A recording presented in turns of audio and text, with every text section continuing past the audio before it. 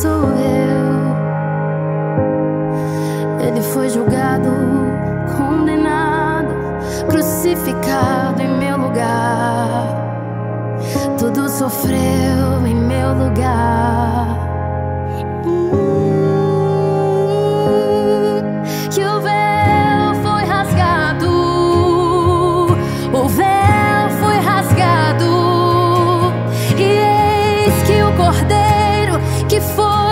crucificado, ressurgiu.